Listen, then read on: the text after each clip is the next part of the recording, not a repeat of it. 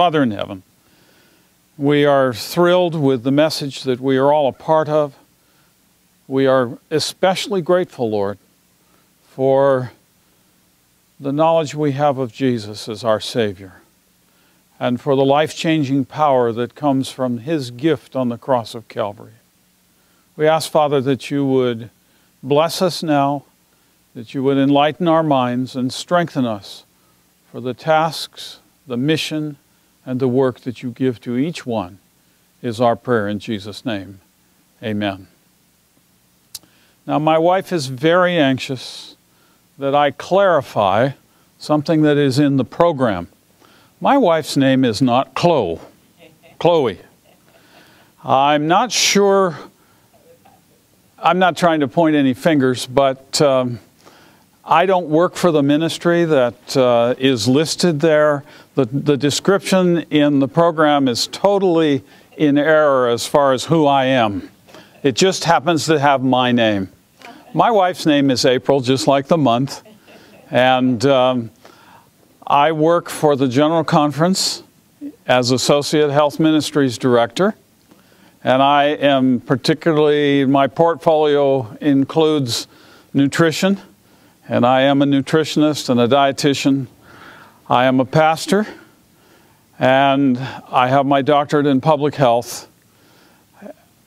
And I have been in the General Conference for four years, uh, for the past four years. And I have the privilege today of traveling around the world, really, and interfacing with those who are really doing health ministry in many different parts and corners of this earth. I, I am thrilled to see what God is doing in many, many, many of these projects. Um, let me just tell you one quick story because I just recently heard it. We have in the city of Kiev in the Ukraine recently opened the Adventist, uh, the Adventist, the Kiev Adventist Medical Center. Now, when you see the word medical center, you may think of Loma Linda University or, or uh, Florida Hospital.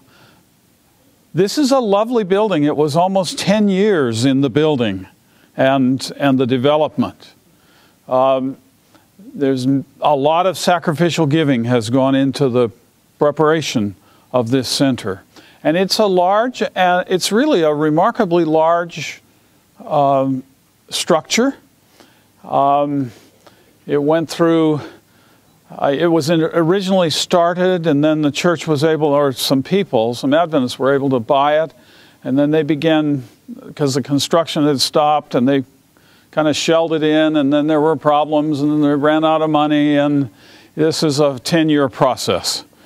But they have room in it for classes, several beautiful amphitheaters. They've just finished one of them. And I just want to tell you a story uh, that I just recently learned of.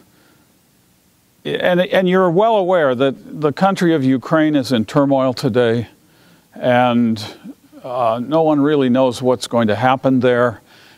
And their grand opening, in which they were starting with a class that they called How to Sleep, on the first night, you could hear on the highway a block away the military trucks and even some gunfire uh, during that night. They were, the staff in the morning got together for prayer and said, Do we go ahead or should we just not do anything? And they said, No. They felt really impressed the Lord would have them go ahead. And so they opened that program at 6 p.m. that evening. And rather than 20 or 30 people, they had 65 people come to the class. One of the ladies, and it was a three night class, and they weren't sure whether they'd be able to even have the privilege of the second night or the third night. One of the ladies that came to that class came up and talked to our doctor, who was doing the lecturing on the third night and said this I need to tell you that this class has saved my life. And he said, Well, tell me a little more. I just thank the Lord for that. She said, On the first day, started on a Tuesday, now this is Thursday evening. On Tuesday morning, she and her two children found a building that was 10 stories tall, and they found access to the roof. And she had decided that all three of them were going to jump off because she was so discouraged. On her, and they were going to do that the next day. She just was casing the joint, so to speak. The, that evening, on the way down the stairs, as they went out the building, they saw a poster for this class How to Sleep. They hadn't heard about Adventists. They hadn't heard about the Adventist, the Kiev Adventist Medical Center. And they, she decided to come. She left her children. They were young children. She left them with somebody. I just still don't know who. And she came to the class. And at the end of that class, she said to herself the first night, I'll do it Thursday. I need to come back tomorrow night. The next night, she said, I'll do it Friday. I need to do it. I need to come back for the last class. During the last class, the Holy Spirit brought conviction to her heart that her life was worth more than what she thought it was, would be. And she told the doctor, she said, You have saved my life and the life of my children. And she told him the story. And he sat down with her and he prayed with her the first time anybody had ever prayed with her in her life. And he invited her to come the next evening to their home, he and his wife, and have a meal. And she happily agreed. And that evening, he offered to study the Bible with her. And what is so thrilling to me is that now, several months later, tomorrow, it is the plan that she will be baptized as a Seventh day Adventist. God works through these means. And I want to just share with you some principles that I have learned along the way that I hope will be helpful to you in your local churches as you look to carry out health ministry in the way that God wants you to do it. But as we begin, I'd like to ask the question what is health ministry? And a lot of people have different ideas of what it is.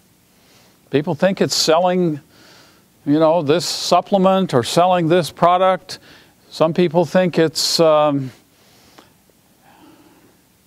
taking people for a walk. Other people think it's cooking classes. Other people think it's various kinds of things. And it can be all of those. Well, I'm not sure about selling things other than good information, but we'll come to that. But I would like to just ask you to think carefully about what health ministry is all about. And I would like at the beginning to suggest to you that it is not just a set of scientifically established health practices that prolong and preserve life. It's more than that. It is more profoundly important than its component parts of balanced nutrition, exercise, uh, rest, water, sleep, whatever. It can do far more than modern science has discovered or demonstrated. The Seventh day Adventist health message, when rightly understood and linked with Scripture and the God of Scripture, can bring the dead to life. Amen. And we'll come back to that concept of bringing the dead to life. When we confine any part of the health message merely to its scientifically validated facts, we are tragically shortcoming our audience of the eternal health benefits that only come from our Savior Jesus. And so I would like to, with that as an introduction, I'm going to share with you some broad principles that I believe are very important in carrying out effective health ministry in the local church, actually anywhere. But the first one is that we need to share Jesus as the only effective agent of change. You know, I was a freshly minted health educator. I had my doctorate of public health, and I was invited to come to a large city church to develop in that community a health outreach program that reached out to the community that surrounded the church. It was a very well to do community. The church members initially said, Would you please come and live near the church? But there was no way that we could even afford to live anywhere near the church. We located 12 miles away and drove in. I was excited about health ministry. I wanted to share Jesus with the people who came to our programs. But I didn't know how to do it. I was told by one of my church members that most everybody that would come through the door to the program would be Jewish. And I didn't want to offend them. And so, as I began working in that community, I didn't begin a program with prayer. I made a few veiled references to divine aid. I may have spoken about the Creator in terms of the wonderful creation of the human body and the need to take care of it. But I was very, I didn't even finish with a benediction because I was afraid that I would offend those who were coming. They were secular, that's for sure. I'm not sure that very many of them had much interest in spiritual things. And I had worked for about a year and a half, and I was very frustrated in my, in my own soul. I believed I needed to go out and meet these people and get acquainted with them, and so I would tell them that if that I would be phoning them and I would be trying to set up a visit with them. And I would knock on the door at the appointed time and they would welcome me in. I was a known person. They were coming. They seemed to be benefiting. I mean, they seemed to enjoy the programs. But I would ask them questions like, How are the, you doing physically? And they could tell me about how much better they were feeling. And some of them would tell me passionately about all the improvements that they had felt in their own lives. And I thought, wonderful, praise the Lord. I'd ask them how they were doing emotionally.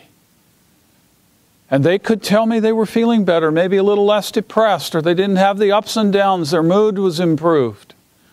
I thought, praise the Lord.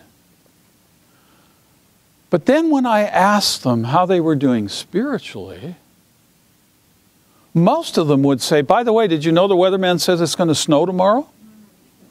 Or who do you think is going to win the ball game tomorrow night? And they were telling me something. They were telling me they were not comfortable in talking to me about spiritual things. I, they may not have been comfortable at all, but they certainly weren't comfortable in talking to me about them. And it really, really frustrated me. And I tried many different ways, but I still offered the programs in the same way. Then one day, an old family friend who was probably about my age at that time, but I thought he was really old, had just retired and he was traveling around the country and he called me up and he said, Could I come and spend a couple of days with you? Well, he spent about four or five days and we were happy to have him. We had known him for many years and had looked up to him. And he wasn't a trained health educator, but in his stay there, he, you know, I invited him to come with me on some visits and he saw what was going on. And I came, he came to uh, some of the programs and he saw what was going on there. And as we were driving in the car together, I bared my soul and I said, I'm really frustrated. This is not what I had counted on.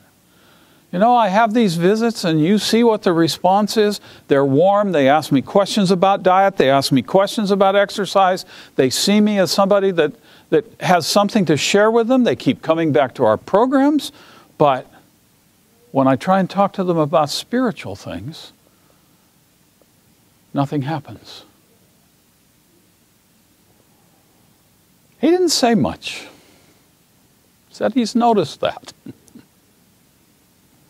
On the last morning, he said he'd like to talk with me for a few minutes, and he, I knew he was leaving. And so we sat down together, and he said this to me that I have never forgotten. He said, Fred, I hear your frustration. I've seen it in your face. I hear your heart cry.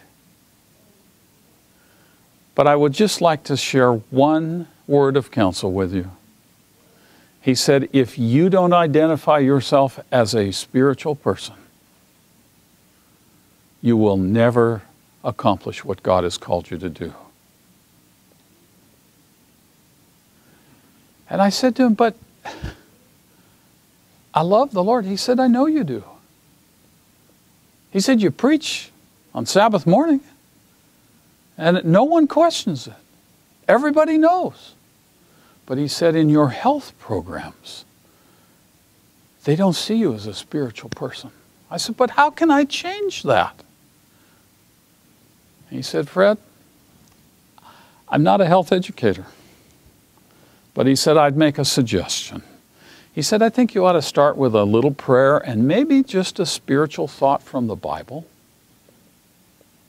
He said it doesn't have to be very long. And then it was time for him to leave, and he left me very, somewhat encouraged, but very confused as to how I could identify myself as a spiritual person. I had to get down on my knees and I said, Lord, what do I do? I, I, I could see maybe starting with a brief prayer, but how would I speak to people at a nutrition class about the Bible? And I struggled and wrestled for weeks in my own soul as to how I could identify myself as a spiritual person. Our programs were going on. And finally, one day, the Lord brought conviction to me that the following night, when we started the cooking class. Uh, the following night, it was an ongoing cooking class, that on that night we were going to be talking about sugar or desserts. And I was going to talk a little bit about sugar. That, that was the night I had to identify myself as a spiritual person. And it, I didn't have much peace in my soul. And I kept saying, Lord, how do I do it? And I still can remember the next day saying, What am I going to say? How am I going to begin this class?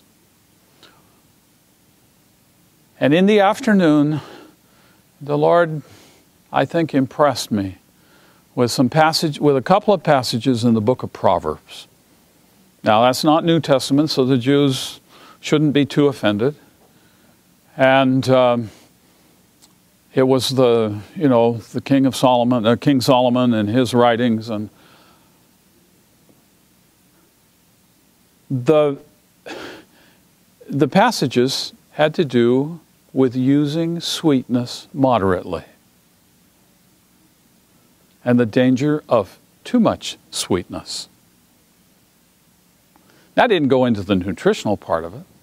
So that evening, with a great deal of fear and trepidation, I opened my Bible And in probably about three minutes, if I remember right, I read those passages, made a few short comments as an introduction to the topic of the evening, asked people to bow their heads, and had a brief prayer.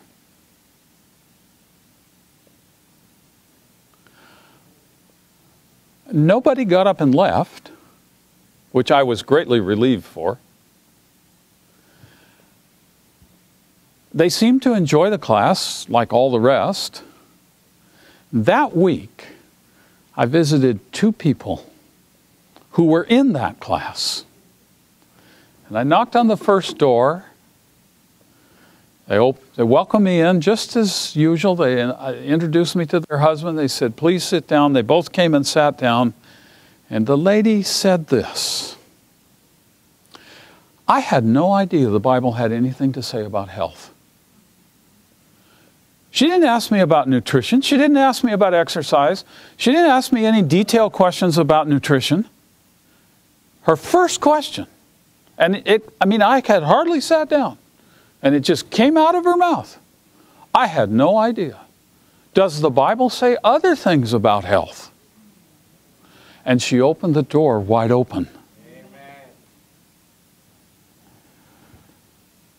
That evening, I went to the second appointment knocked on the door, and it was almost a repeat. Question was a little different, phrased differently, but it was the same thing. And I said, This is really fun.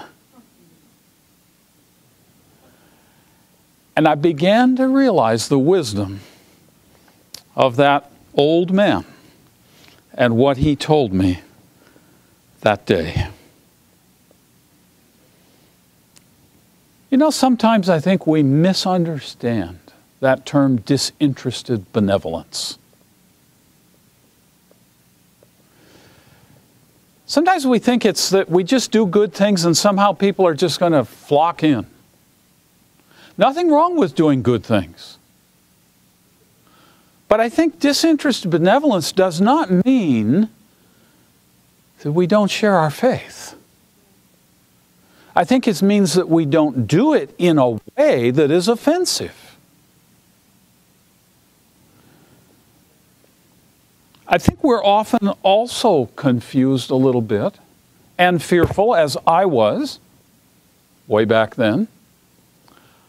I was confused between sharing doctrine and sharing Jesus.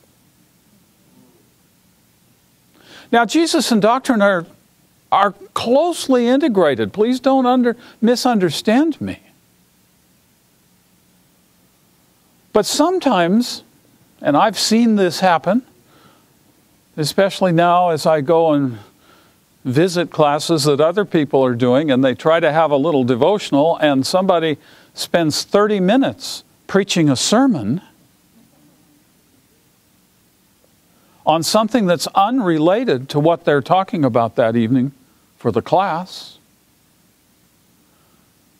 I've seen pastors dust off old sermons on the Sabbath or on the state of the dead and try and preach it to a health class.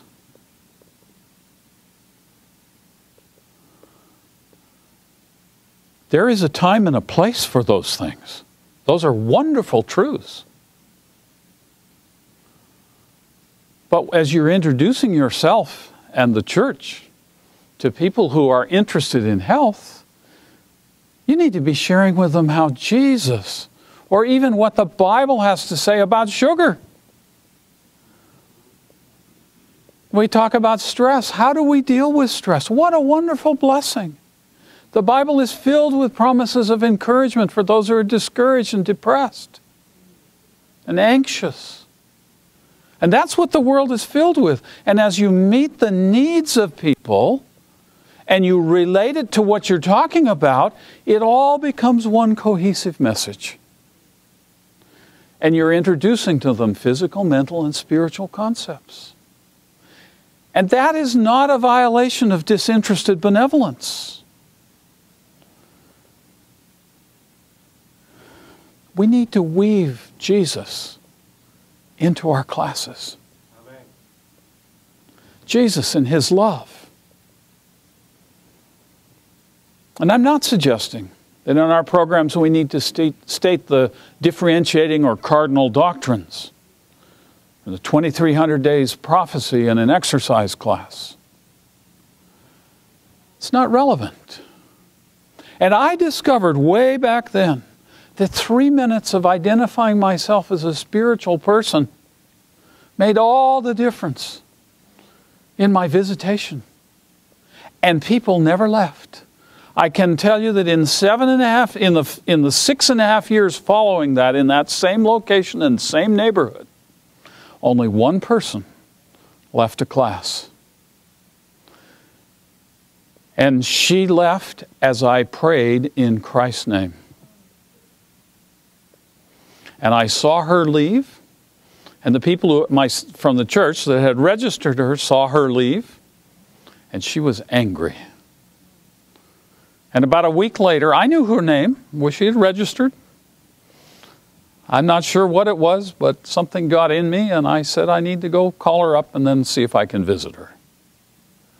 And she told me that she was Jewish and she had become angry. She was a lawyer, she was a brilliantly red headed lawyer. Um, and uh, smart woman, but she had become angry that I had prayed in Christ's name. I called her up and I said, My wife and I would like to come and visit you. And she said, Oh, that would be so kind. I would welcome a visit. And so we went, and she lived in one of these high rise apartments, and you had to have special permission. I mean, she had to open the, the call the gateman or the doorman and so forth. Anyway, it was a palace that she lived in up there. And she was most welcome, most welcoming, offered us some refreshments. We sat down in her living room, and I apologized to her for offending her. And she looked at me and she said, You don't need to apologize.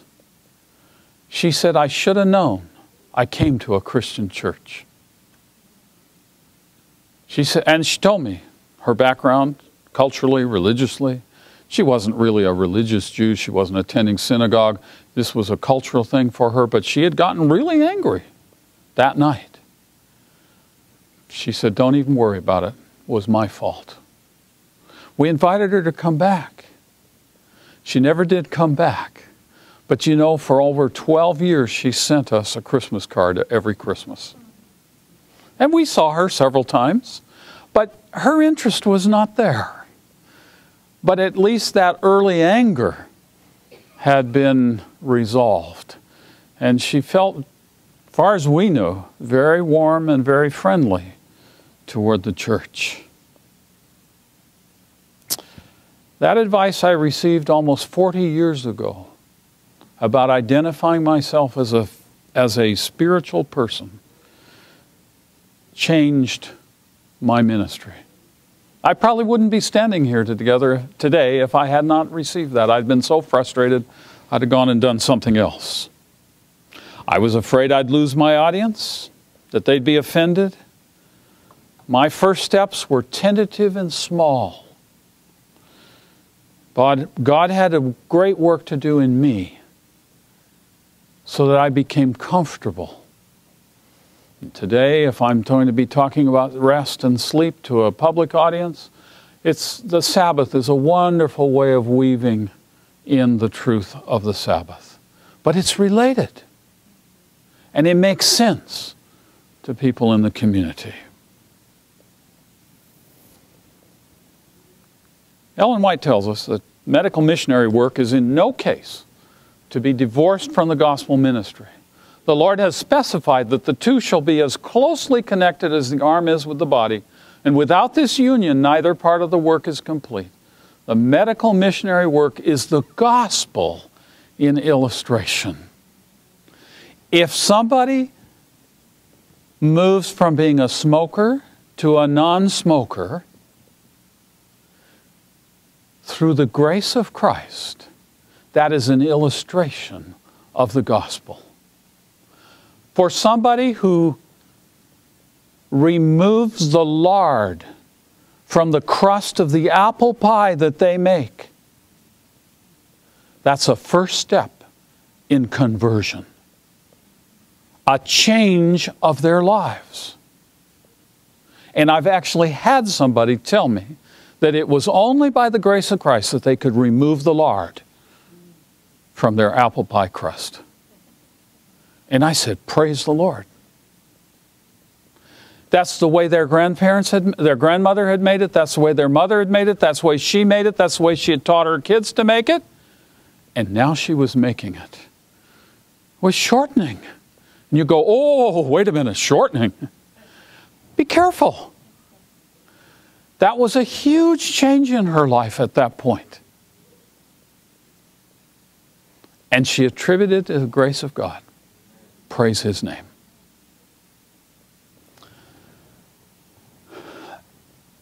Health work is a wonderful opportunity of teaching the gospel in its practical application in people's lives, because that's what you're dealing with.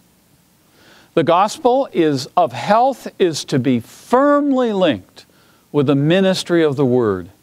It is the Lord's design that the restoring influence of health reform shall be a part of the last great effort to proclaim the gospel message. That's the day and age in which you and I are living today. Jesus is coming soon. And He's given our church a special way of reaching out to the community that will reach people that will be reached in no other way. And we are told that. You know, there are a lot of godless behavior change programs out there. And unfortunately, there are some that are even walking around in Adventist churches. I have the privilege of, you know, working in many different cultures today. There's a big concern. Well, if I make it Christian, I'm going to offend my audience, nobody will ever come. It all depends on how you do it. The goal of our programs must be to introduce people to the only power that can affect permanent change in their lives. And that's the power of God. Now, not everybody is willing to recognize that in the beginning. I'm going to tell you a story about Tom in a few minutes. You'll be amazed at what happened in his life. But he was unwilling to accept the concept that not only that he needed God, let alone that God did exist and was interested in helping him stop smoking.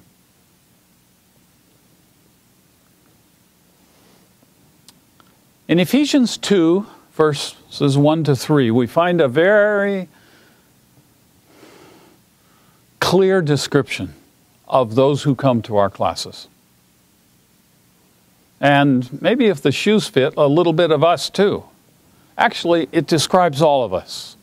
And you he made alive, who were dead in trespasses and sins, in which you once walked according to the course of this world, according to the prince of the power of the air, the spirit who now works in the sons of disobedience, among whom also we all once conducted ourselves in the lusts of our flesh, fulfilling the desires of the flesh and of the mind, and were by nature children of wrath, just as the others. Sometimes I've said that verse describes us all as being devilish, dead, disobedient, and depraved. And that's in many ways an apt description of humanity today, especially humanity without God. And so I have a picture of John. John is dead. What can we do for John in a health program? Think about it. Should we set a good example for John? You know, maybe we should model good exercise. We should eat right around him. We should show him that you don't smoke. And we should avoid, depressive speech and attitudes. Is that going to bring John to life? It will not. But maybe we should educate him about the portion control and the problem of obesity today, the importance of avoiding trans fats, the dangers of cheese, stress management, depression recovery. Will that bring John to life? It will not. Should we give him encouragement? We can say, You can do it, John. Don't give up now. This is important. I remember being in a class once recently, I heard somebody say, It's very painful now, but you'll be glad when you get over it. Well, that may actually be true. No time to be discouraged, John. Will that bring John back to life? It won't. Maybe we should provide him a better environment. We can remove him from all the bad environment in which he lives. We can take him to a lifestyle center. Put him in with other successful people. Surround him with positive role models. Create an encouraging setting where he can make these important changes that he wants to make. Will that bring him back to life? No, it won't. These things do not bring the dead back to life. We can set all the examples we want, do all the good education, provide the encouragement, even the best environment. And if any of you are involved in Lifestyle Center, don't, don't leave here thinking I don't believe they can be effective. I spent 10 years of my life in a Lifestyle Center. Had wonderful experiences. But lifestyle centers do not bring people back to life. The next three verses in the same chapter of Ephesians 2, I think, really brings the point home. But God, who is rich in mercy, because of his great love with which he loved us, even when we were dead in trespasses, made us alive together with Christ. By grace you have been saved and raised us up together and made us sit together in the heavenly places in Christ Jesus.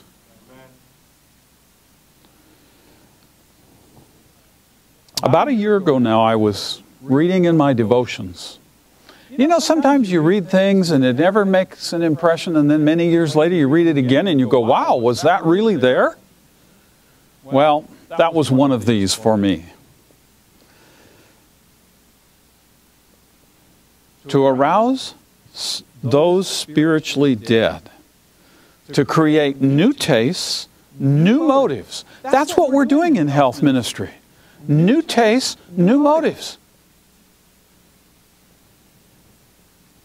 Requires as great an outlay of power as to raise one from physical death. Isn't that amazing? It is indeed giving life to the dead to convert the sinner from the error of his ways. And so I'd like to suggest to you this afternoon you know, we pray for the sick, we pray for those who are nearly dead, asking the Lord by His grace to heal them. Maybe we should be praying for people who come to our health programs, recognizing that they are spiritually dead and that requires the same amount of power, the same kind of power as Christ used to raise the dead to life, literally.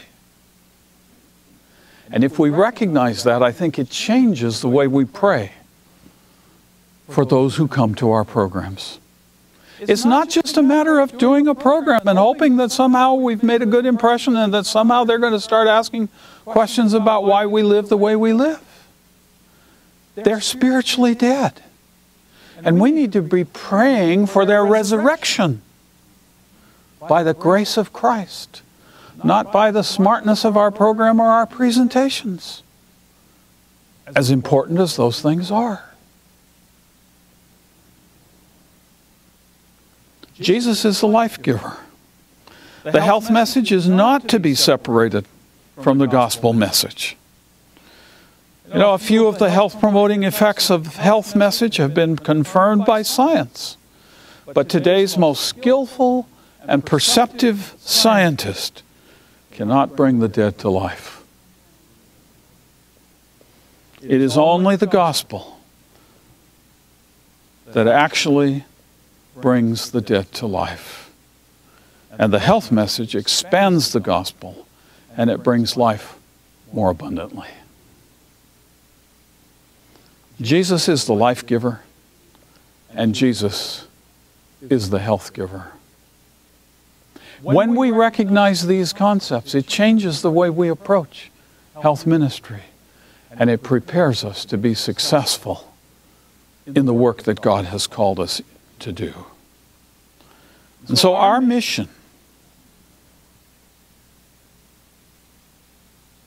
is to recognize that when the health message lose, that the health message loses its power if it is separated from the gospel message. If a person attends a health program in a Seventh day Adventist church and understands and applies the principles, they may be gained a few years of life. And that's wonderful. But if they did not learn that the power to change comes from Jesus, then we've really failed in our mission to the community.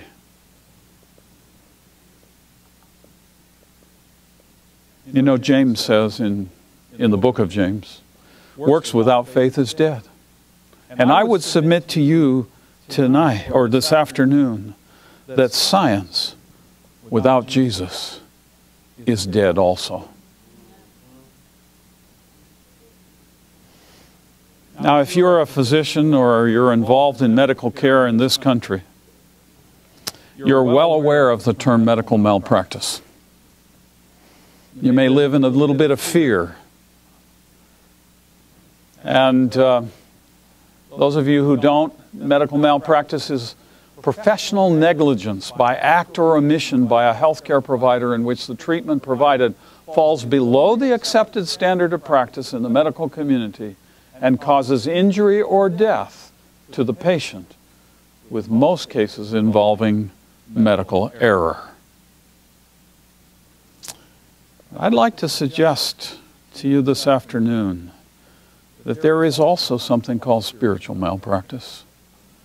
Spiritual malpractice is something that unfortunately many of us have been guilty of in our health programs.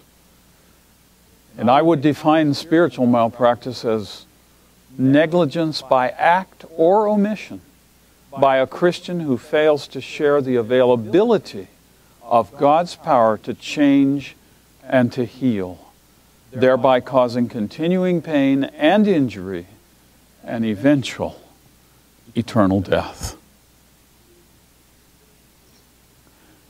And we should not be guilty of spiritual malpractice.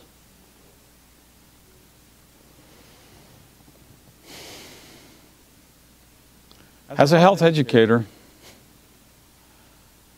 I have often talked to many, many people of all walks of life, wondering should we do a health program or an evangelistic program? And I don't think it's a one or the other. I think we are called to do health evangelism. Now, we might ask the question which is more important is health? Well, the benefits are temporary, but the person dies anyway at some point. We all do, as long as Christ hasn't returned. Well, what about evangelism? Well, its benefits, when accepted, are eternal and it really doesn't matter if you die. So I hope you begin to see the foundational importance of making sure that we share Jesus as that agent of change that is available for people to choose in their lives that they too might become better people. New creatures, if you will. That they can be restored to life through the grace and power of our Savior Jesus. We should ever remember that the object of the medical missionary work is to point sin sick men and women to the man of Calvary who takes away the sin of the world. That's what the object of health ministry is all about, is to point them to Jesus. And if we fail to do that, we failed in our mission. The second principle that I believe is extremely important is that we must focus on building long term relationships. You know, traditional health ministry is where we host an event that happens four nights a week, maybe for four to six weeks in length.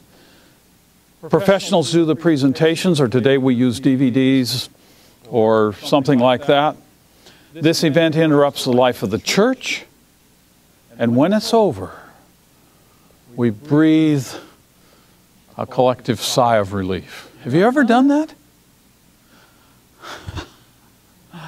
Thank you, brother. A number of years ago, April and I were doing a cooking class on the East Coast. Whoever in the local church was appointed the, the responsibilities of publicizing it had done an extremely good job.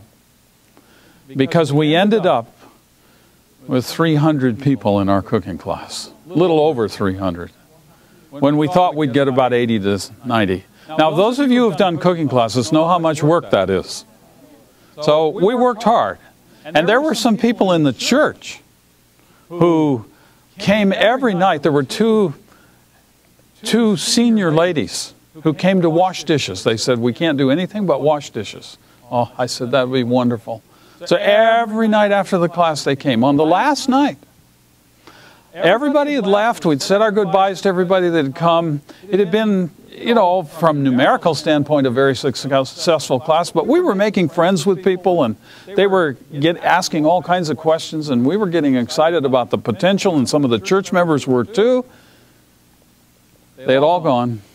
I was carrying a tray of dishes to the sink to be washed. And these two ladies did not know I was coming. And one of them, who had her hand in the soapy dishwasher, dishwater, pulled her hand out and suds on her elbow or on her arm. She wiped it across her forehead, and as she turned to the other lady and said, Phew, we don't have to do this for two more years.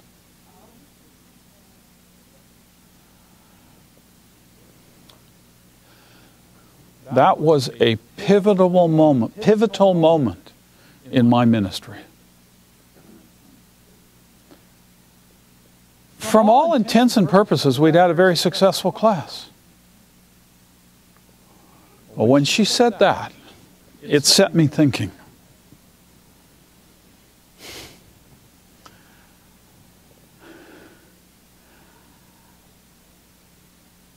On the way home that night, in the car, I turned to my wife. Children were asleep in the back seat. And I said to my wife, I have a question for you. She said, What's that? You always have questions. I said, Well, this is an important one. When we were first getting acquainted, we were beginning, we'd had a couple of, we'd had several dates in college. If I had come to you and said one evening, You know, April, I really, really like you. And I'm looking forward to getting better acquainted with you.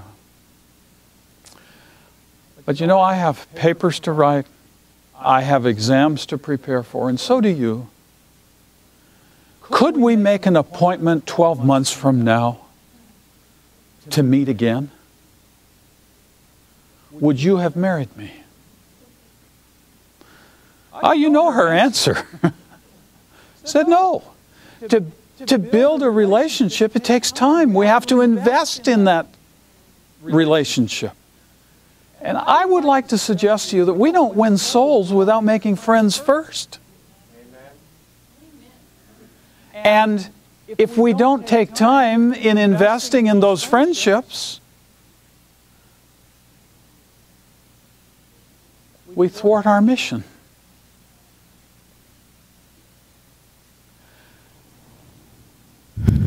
here we were, just beginning to make friends with these people. And these two ladies, bless their heart, they were wonderful ladies. They had been so helpful during our entire class. But they said, we don't have to do it for two more years.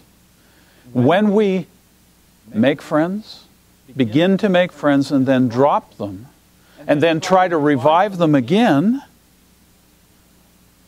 it's even harder.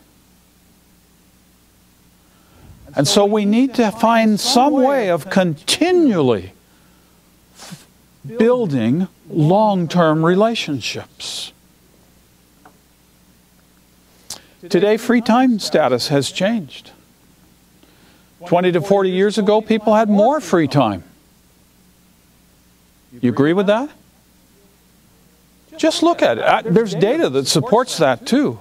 A program that convenes 20 or more times in four to six weeks actually excludes a majority of people in your community. And when we do, we attract primarily the retired, the unemployed, or the socially unique. Now, there are exceptions, and we're grateful for that, but they're rare. But you know, many, many years ago in the book Evangelism, Ellen White spoke about this very issue. For she wrote, the years, for years, light has been given upon this point, showing the necessity of following up an interest that has been raised, and in no case leaving it until all have decided that lean toward the truth and have experienced the conversion necessary for baptism and united with some church or formed one themselves. Now, that's in the context of the evangelist, but I think it equally, employ, it equally applies in the context of the health evangelist. We do things very episodically, you know, and we wear ourselves out. And we have no strength. We don't have enough staff. We don't have enough people, team members. And so we begin to make friends, and then we hope we can revive those a year later or two years later. And it doesn't work that way. And so I would like to suggest to you that we need a paradigm shift in our thinking. That we need to begin thinking about what I call low intensity, high impact programs. Those that have continual influence in the community from month to month or year to year. They tend not to wear out the talent pool of the church members, and they don't wear out the attendees. And they maximize the church community interface when they're done properly, and they can be conducted in any church, in any community, regardless of the talent mix. At lunch today, I was thrilled. Was unaware of this. But you know, that's one of the wonderful things. The Lord never speaks to one person only. He speaks to people around the globe. But at lunch today, I discovered as I was sitting at the table that there was a lady there who has done a once a month cooking class for 27 years. Now, that's amazing commitment. Ruth, you can talk to her afterwards if you want to know more about it. More than 20 years ago, I became impressed that rather than, and, and it began, that thinking began after this lady went, we don't have to do it for two more years. I said, wait a minute, what's wrong here? We were worn out. they were worn out. And the people in the class were worn out. And it was probably about 25 years ago now that I was a conference health ministries director and there was this dying church. It was in a dying logging community, old logging, ex-logging community. High school was nearly, uh, the church school had, had disappeared. The church had almost disappeared. There were only about seven people attending church in our church, where they used to have well over a hundred, a thriving church. And they said, We want to do something for the community. And we want to do a cooking class. And when I went down to visit them, I discovered that they were both in their mid 70s. And I thought, A cooking class? They said, what can we do? And I suggested to them maybe they do a once a month little vegetarian supper. I don't have time to tell you all the things that the Lord did through those two ladies and the rest of their team. But in that dying community, over a 10 year period of time, that church went from seven members to almost 85 members. And every one who joined that church had come to the Vegetarian Supper Club. And at that club, they had served a simple supper. People love to eat. Sometimes we, you know, this was not a Sabbath after church spread. This was a simple supper, maybe some soup and a slice of bread. And then they showed them how to make the soup. One demonstration. And then a little health talk, and it was usually on a video or DVD. And then when they had, when the, when the satellite meetings came around, they called me and said, What do we do? We can't do our class because there's going to be a. I said, Why don't you invite the people who are coming to your supper club? And they went out and they knocked on the doors of all the people. And there were about 50 of them coming every month. And they did some things like, you know, if you're a church member, you can't sit at a table with another church member unless it's your first degree relative. You've got to sit at a table and get acquainted with people. And started in the fellowship hall down in the basement of their church. They had to go to the high school because so many people wanted to come. They went out and invited people to this, uh, this satellite meeting. Said, We're not going to have a class, but you're welcome to come. We're going to be having these meetings. They're going to start at this date. They gave them a little card that had the information about it. When the satellite meetings were over, 18 people had made a decision for Jesus Christ. They went in a matter of six months from seven people to 20 to, to 29 members baptized. And it continued for 10 years. Well, actually, it continued for longer than 10 years. But in 10 years, they had about 85 people. So, don't become weary in well doing. But don't try to do more than you can do. Now, there are many other things you can do. You don't have to do vegetarian supper clubs. I'm aware of the, actually, we, my wife and I began one before this little church began theirs in the church where we were serving at that time. And they have been doing it for almost 30 years now, once a month. And you say, well, 12 times a year? No, not quite we found, at least in our culture in the U.S., that between Thanksgiving and New Year's is almost impossible. Too many things are going on. And sometimes in August, July, August, either the weather doesn't cooperate or you've got some ball game or something that a community event, and this is especially true in smaller towns where you need to be very sensitive to the culture of the town and what's going on. You know, in a big city, there's so many things that conflict with schedules. You can do almost anything you want when you want to do it, because it's always going to. Be, there's going to be something that that it, you're interrupting, um, and people expect that. But uh, when you're in a little town, that's a little different, and you need to be sensitive to that. But you know, it's ten times a a year on an ongoing basis.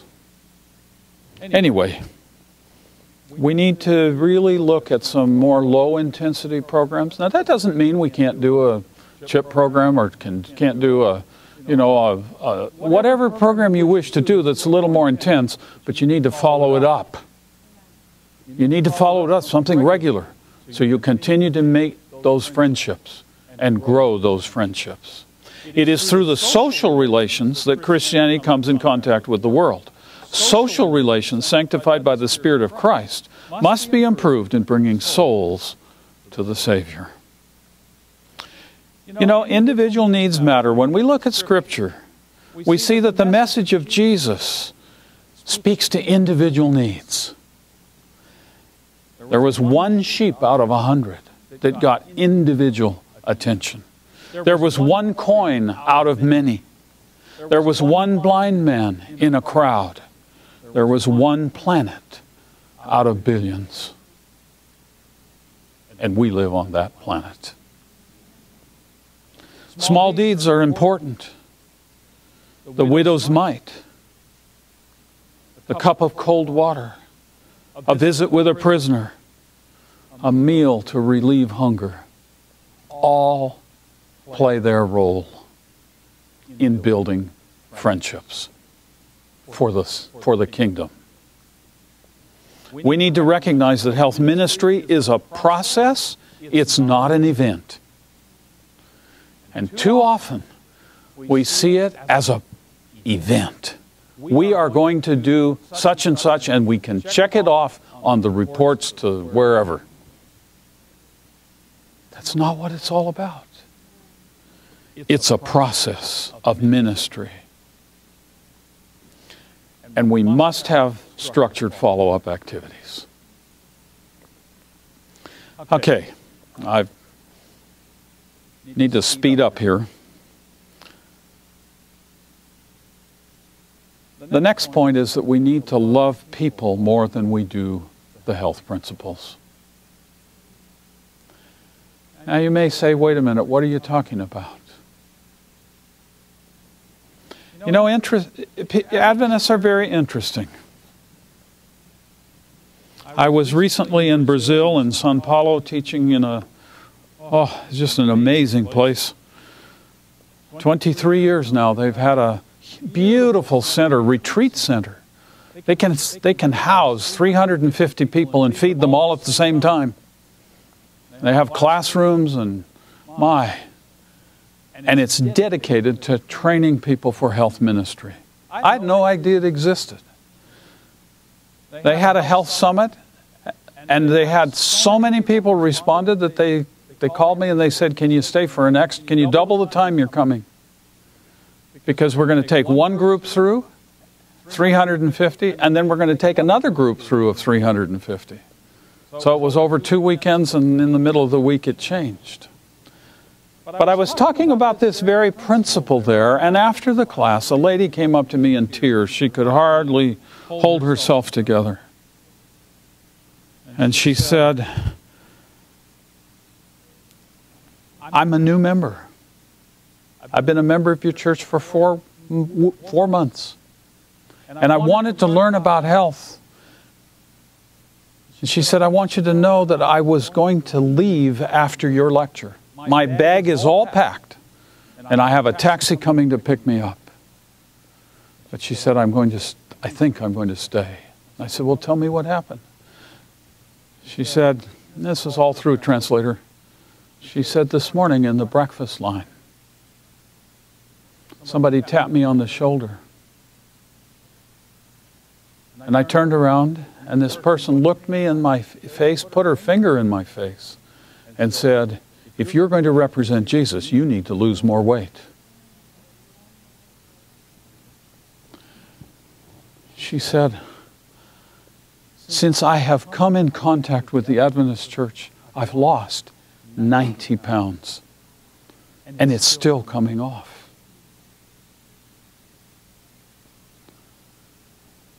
She said, Thank you for telling the story.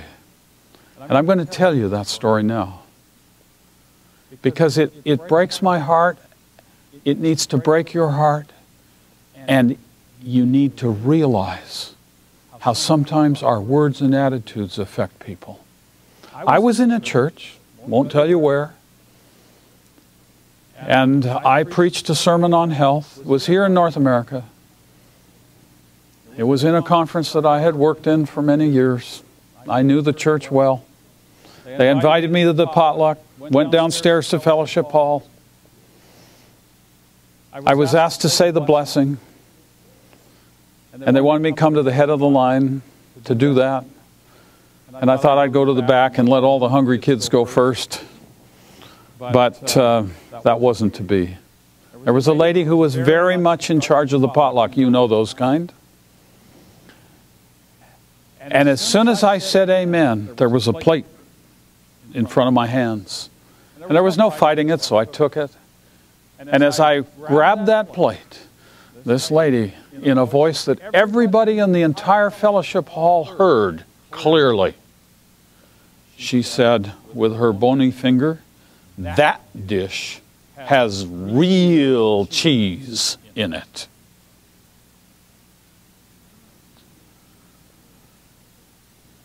Everybody was looking, and they were all looking to see what I was going to do. Had no comment been made, I'd have walked right past that dish. It was not my favorite dish. And I breathed a quick prayer, said, Lord, what do I do? And I took one small spoonful of it, and when I did, she went, oh,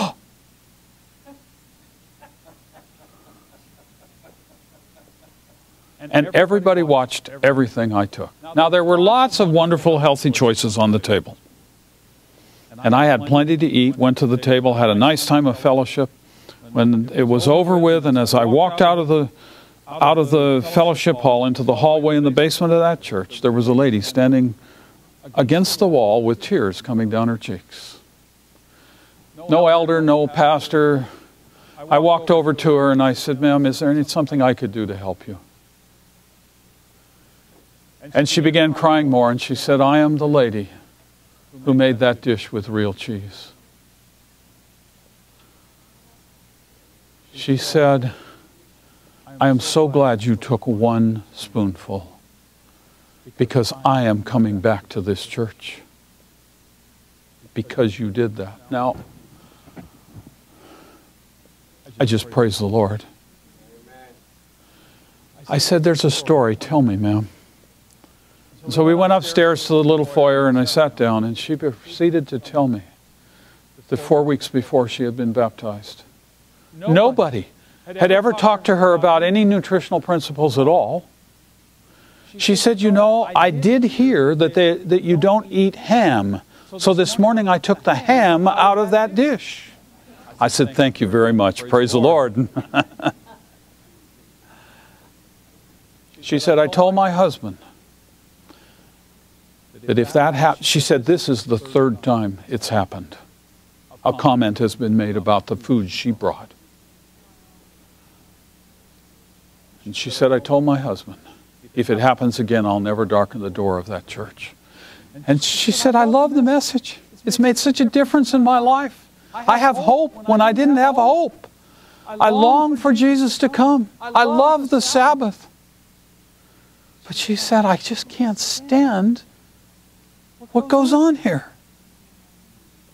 And I said, Ma'am, there's nothing I can do to excuse it. Let me talk to you for a few minutes. And I, I just shared with her from my heart. I shared with her a little bit about the health message.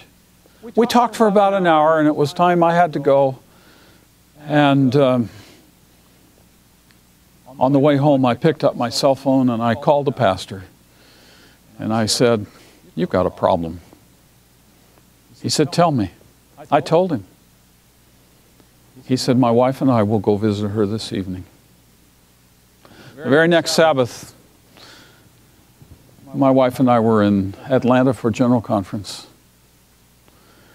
And I was elected unexpectedly. I had no idea to go to the General Conference, and my life has been at 150 miles an hour since then. I never had a chance to follow up, but a couple of years ago I had a few moments and I called this pastor. I said, Tell me what happened. I want to know the rest of the story. Oh, he said, My wife and I went that evening. We talked with that lady. We prayed with her. He said, My wife threw her arms around her. We had her come to our home. We gave her some cooking lessons. We talked about the health message.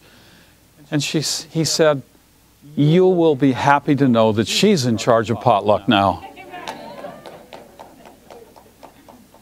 And I said,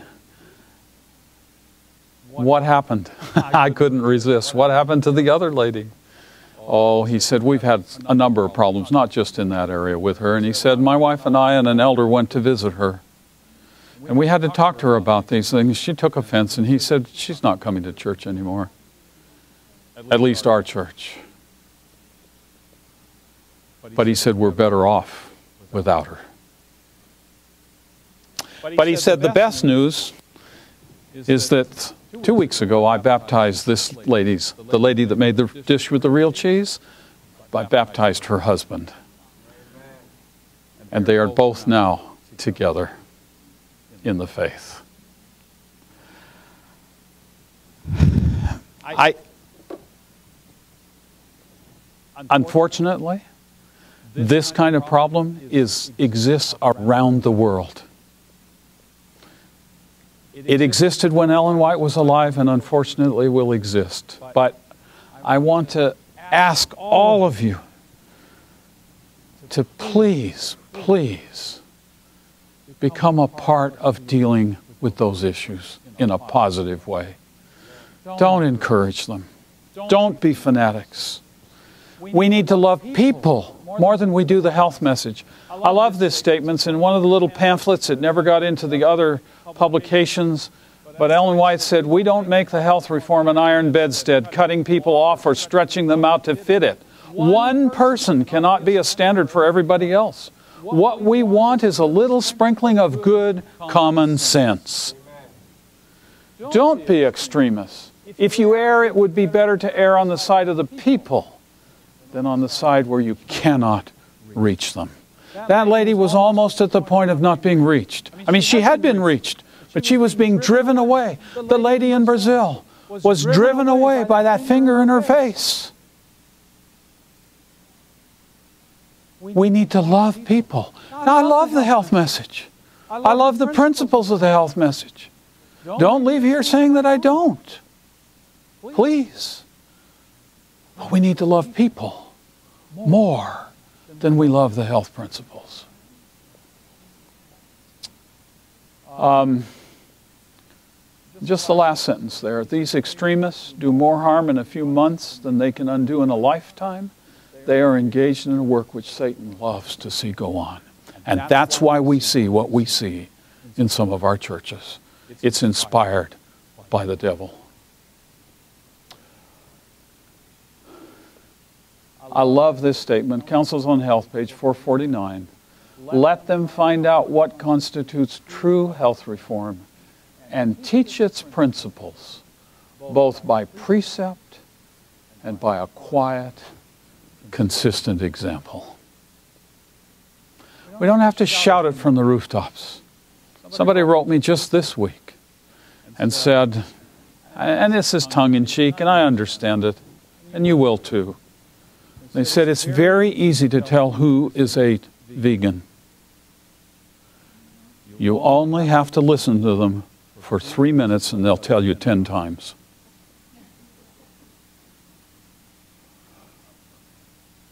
Now we chuckle.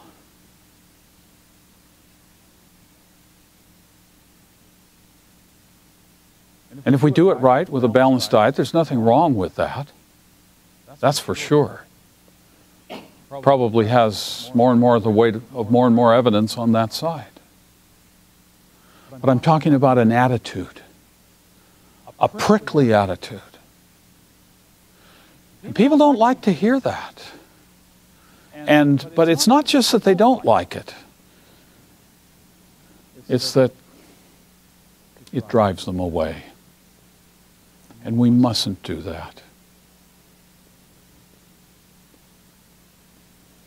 Next principle, just for a moment, let's spend a few moments. We're best, we're, it's best to do our programs in our local churches, wherever it's possible. And we're counseled, Counsels on Diets and Foods 470 in every place where a church has been established. Let the church members walk humbly before God and let them seek to enlighten the people with health reform principles. Medical missionary work is to occupy a rightful place as it ever should have done in every church in our land. There are many advantages to doing it in the church. The church is the Christian's home. The church supports, and, and when we do it there, it supports the wise use of the resources that we have.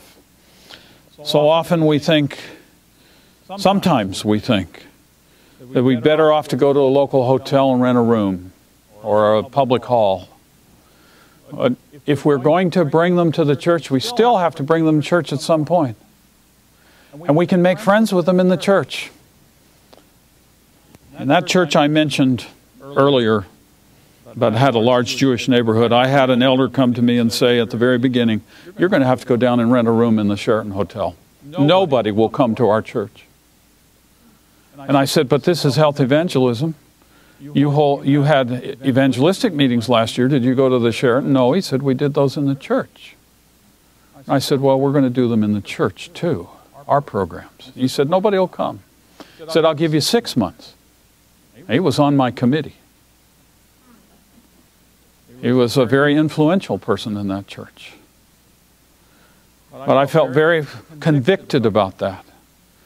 And I can tell you that over seven years of working in that community, we had over 4,000 non Adventists darken the door of that church for health programs of at least four nights each.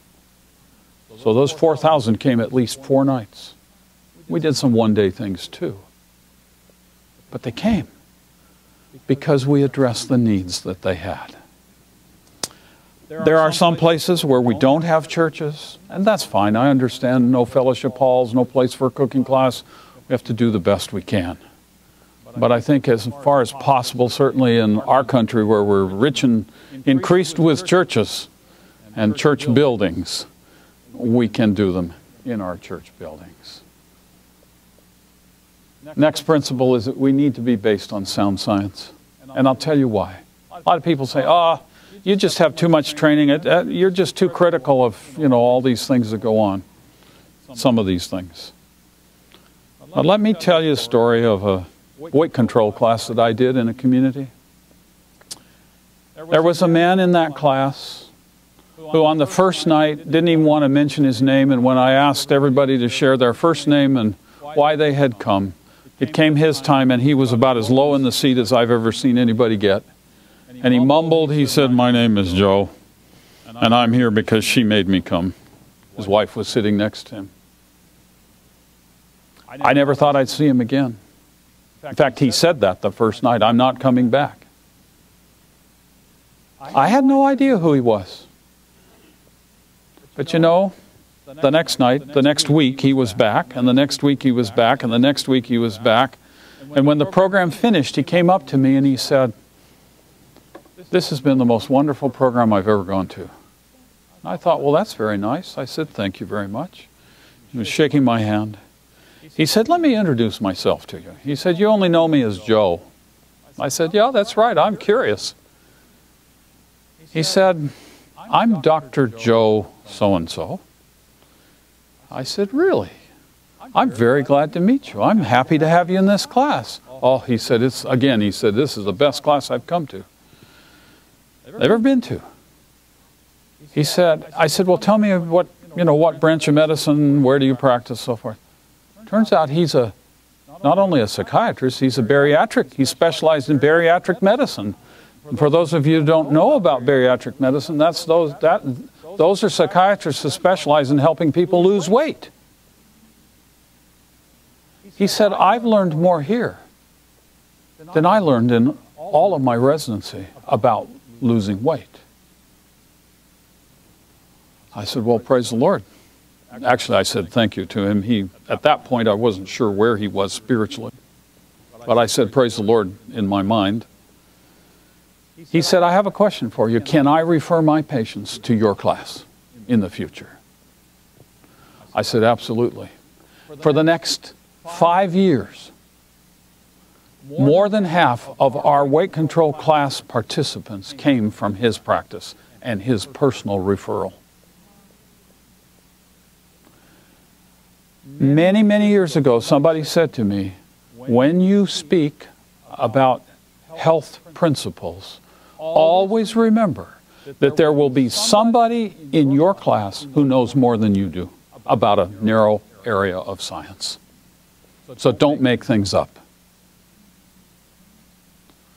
And I have found that to be true.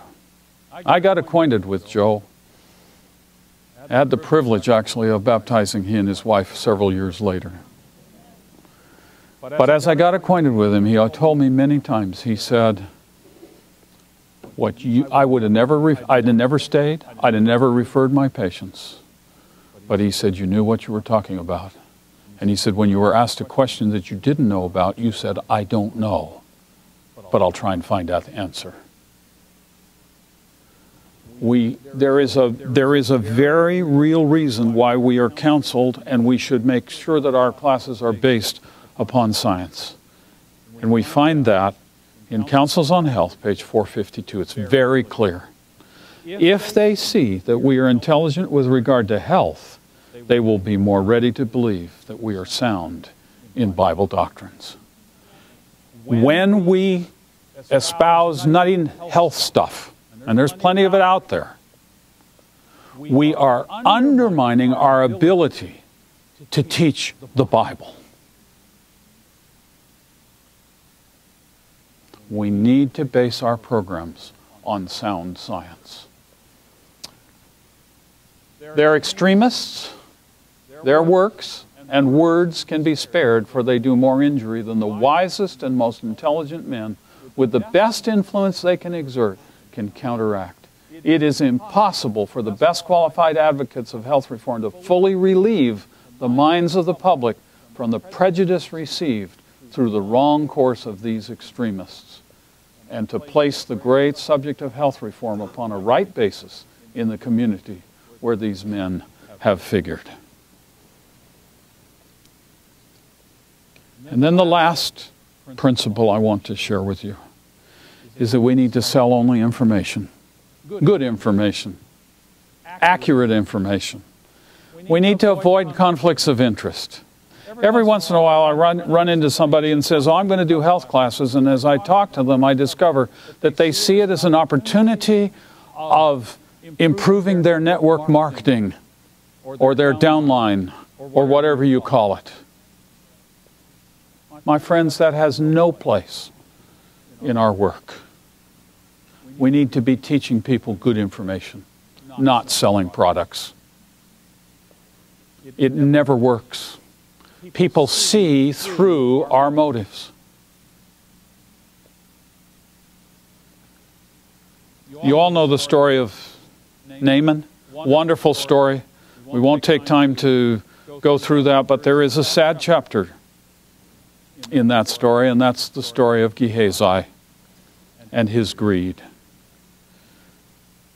Gehazi was, had conflict of interest. You see, the prophet had sent him down to meet this very important man, and he saw with his own eyes all the wealth that he brought with him, and, and the prophet didn't ask for anything.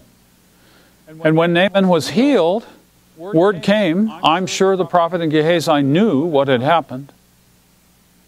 And Gehazi had a bee in his head, and it, that was the wealth. And he said, Wait a minute, I could profit from that. And he lied to the prophet, and he went after Naaman, and he caught up with him, and he lied to Naaman, and Naaman gave him exactly what he asked for or more.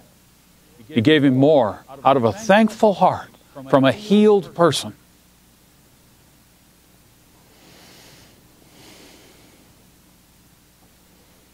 Then Gehazi came back, hid it in his house.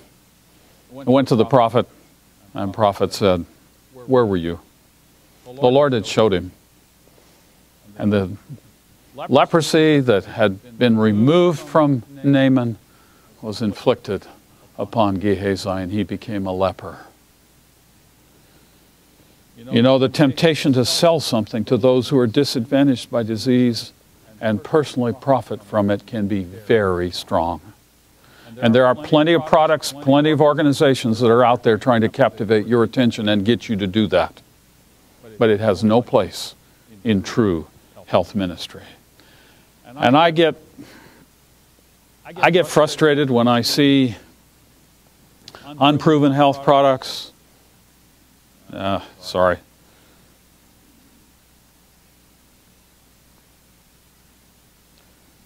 multi-level marketing schemes, the nutraceuticals, the, the botanicals, it, it, it makes me sick when they see when I see them masquerading as health ministry because they are not. we need to be selling only good information. Solomon, I, I'm sorry, solemn are the lessons taught by this experience of one to whom has been given high and holy privileges. The course of Gehazi was such as to place a stumbling block in the pathway of Naaman, upon whose mind had broken a wonderful light, and who was favorably disposed toward the service of the living God. The Bible record makes it clear that Naaman's faith was not shaken by Gehazi's behavior. And I praise the Lord for that. His faith remained strong, even as he went back to, his, to Babylon.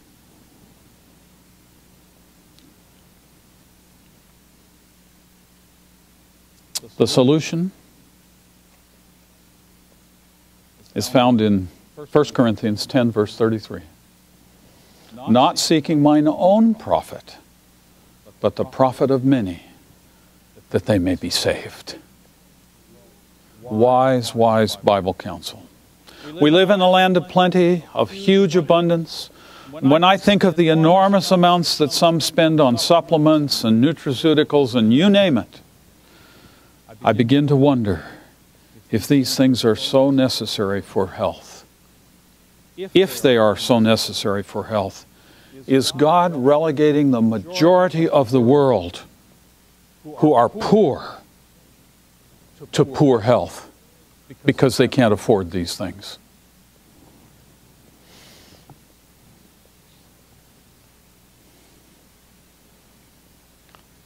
When we do health ministry successfully, I think our churches will display some DNA markers of Christ like health ministry. This is my last slide. What will it look like? It will look as if Jesus was back in town again. You agree with that? Our health ministry needs to look like Jesus was there.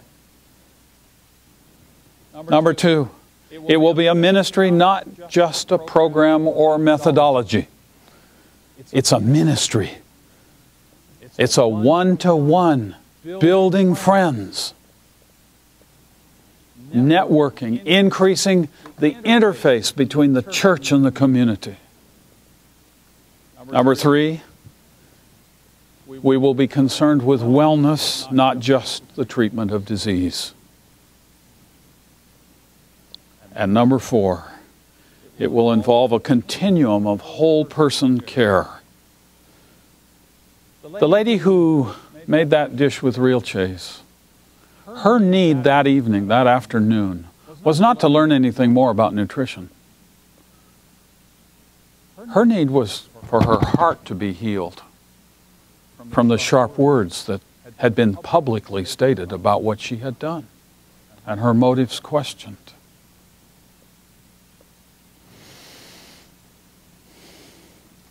You hear the term comprehensive health ministry more and more. And that's what we've been talking about today. A ministry that reaches out and meets the needs of people in a way that draws them to our Savior Jesus. May God strengthen and bless each one of you as you go back to your churches, as you lead out in various activities, as you have opportunity to provide counsel and wisdom.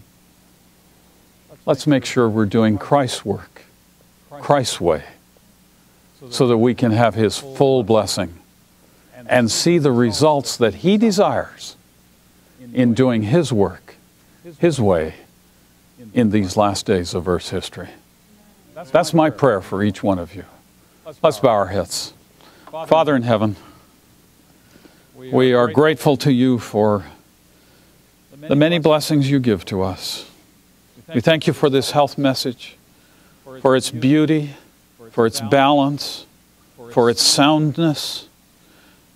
But most of all, we praise you that as, it, as we seek to present it through your grace, through your strength, that it will meet people's needs. And then we ask that you would give us the strength, give us the wisdom we need to nurture those friendships for your kingdom is our prayer in Jesus' name. Amen.